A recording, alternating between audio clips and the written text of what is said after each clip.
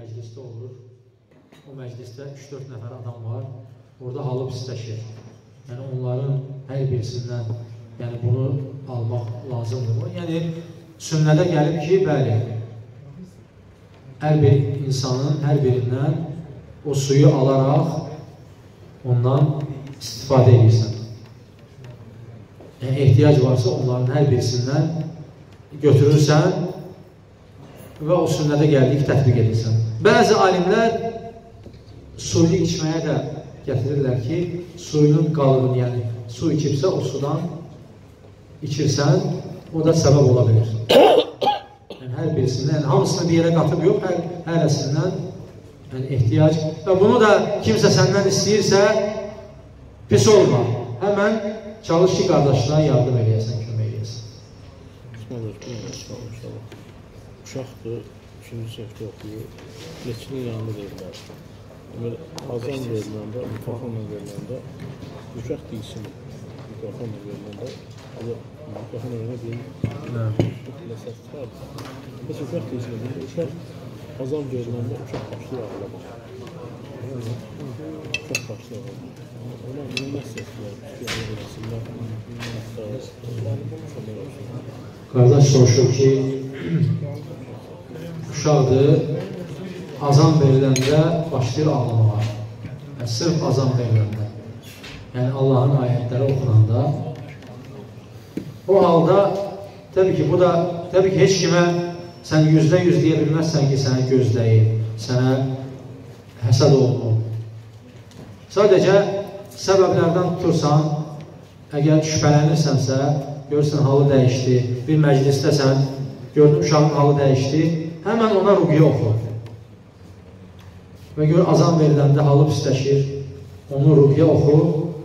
Təbii ki, bu da bir səbəbdir ki, onun halı yəni, belə hallarda dəyişir.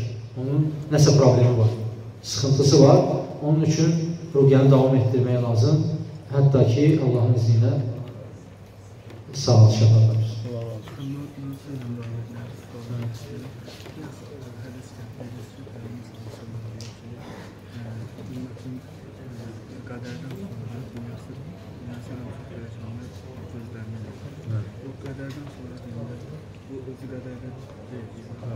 Qardaş soruşur ki, Peyğəmbər sallallahu aleyhi və səlləmin hədisində gəldi ki, ümmətimdən ən çox dünyasını dəyişənlər Allahın qəzə və qədərindən sonra gözlə.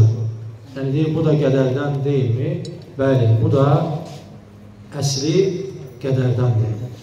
Sadəcə insanın qədərinə yazılıbsa, bunun Allah subhanahu wa ta'ala onun müəyyən vaxtı dünyasını dəyişəcək. Ola bilər ki, göz dəyməsi ilə onun halı, qədəri dəyişsin.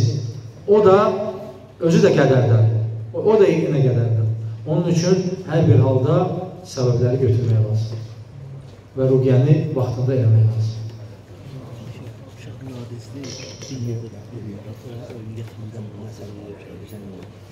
Deyir ki, uşaq yəni görürsən ki, bir yerdə dayanmır, nadiclik eləyir. Yəni, yatdığı vaxtda eləmək olar. Yəni, ümumən, möhtərəm qardaşlar, yəni uşağı çıxardığınız vaxt, harasa bir məclisəmi, e, topluma apardığınız vaxt, yəni çalışın onu ruqiyə etdirin, yəni özün öz edin, sonra aparın ki, o da qorunma ilə geçsin. Çünki sonra fəsad verməsin. Çünki əvvəlcədən etmək daha asandır. Bəli, e, qardaş xatırladı ki, Peyğəmbərimiz sallallahu aleyhi və səlləm Əudu bi kəlimatillahi təammət min kulli şeytan və həmmə və min kulli aynin və şərrin və hasidin ləmmə Həsən və Hüseyin radiyallahu anhümələrə bu duanı oxuyardı, onlara e, ruqiyyə edərdi Peyğəmbərimiz sallallahu aleyhi və səlləm. Məsələn, bir məclis olur, insan yoxsa təhsilində, vəzifəsində, işində, ona bir söz düşür. O zaman o məclisdə kimisə, maşallah, bərəkallah, Allah mübarəkdir eləməyi görürsən. Özün deməyin, nəfsin, həsədin qarşılanamır. Orada ə, yəni qardaş deyir ki, olur ki, insan bir məclisdə ə, Allahdan xeyir, bərəkət istəmirlər və özünün deməyi kifayətdirmi? Demək ki, özünün özün üçün deməyin kifayətdir. Sadəcə sən hər şeydən öncə özün hazır olmalısan. Yəni özünün qalanı hazır qurub gəlməlisən. Çünki artıq sən orada dedikdə o insan onu edən o edən deməlidir ki, onun təsiri keçsin. Allah alim.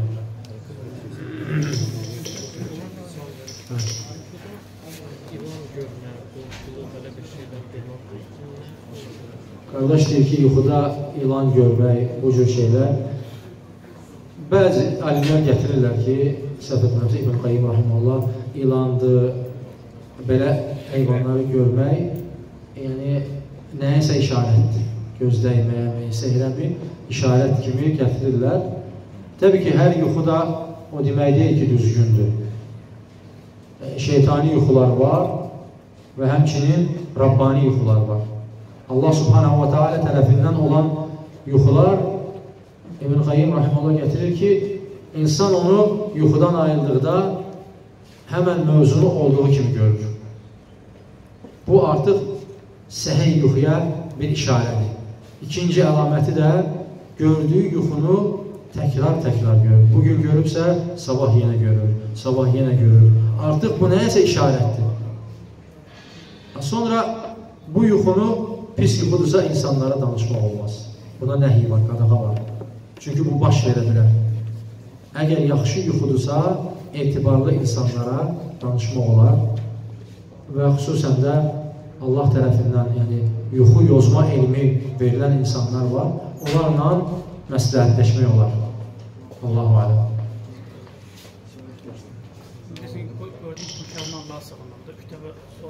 Bəli. Pis yuxu gördükdə sol tərəfinə üç dəfə ə, Allaha sığınırsan, həmən yuxunun şərindən. Və sonra da yəni, hər şeyi də göz dəyməyə, belə şeyləri yozmursunuz, qardaşlar. Yəni, filan kəs yanıma gəldi, belə oldu.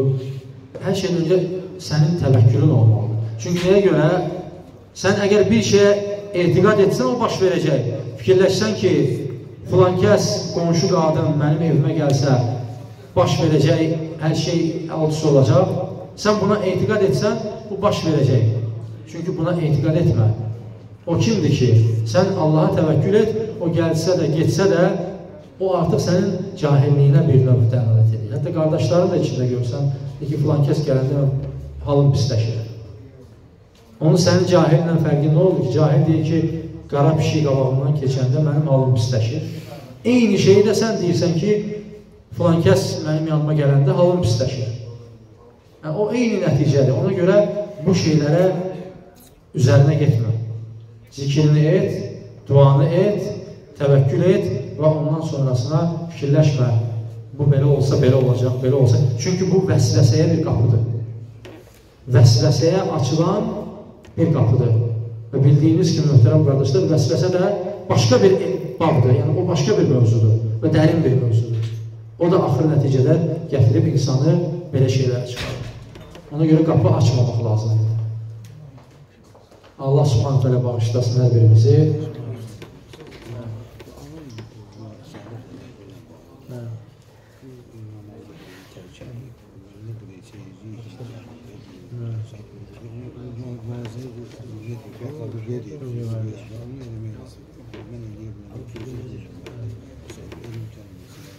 Qardaş soruşur ki, anam əsəb xəstəliyindən əziyyət çəkir, müalicə alır. Bunun səbəbindən də ibadətin tərk edir. Və möhtərəm qardaşlar, yəni hər bir şeydən öncə ruhiyyənin təsir olunması, təsir olması üçün namaz olmalıdır. İbadət olmalıdır. Ondan sonra sənə o təsir edəcək. Yəni, ibadət yoxdursa, o sənə çətin təsir edər. Ola bilər ki, təsir etsin, ancaq zəif olacaq səndə. Çünki şəfanı Allah verir, hətta kafirə də oxumaq icazəlidir. Ruqyəni, dinimizdə icazə var. O şəfa da tapa bilər. Ancaq tez bir zamanda yenə hal dəyişir. İbadətlə, yəni insan yaxşılaşdı mı, ibadətlə onu saxlamaq lazım. Yəni, əgər bu əsəb xəstəlikləridir, depressiyadır, ondan sonra bu cür xəstəliklərin hamısının əsası deyək ki, panik atakdır. Bunlar hamısı bu şeylərdən baş verir. Bunlar hamısının müalicəsi ruhiyyədir, möhtərəm qardaşlar.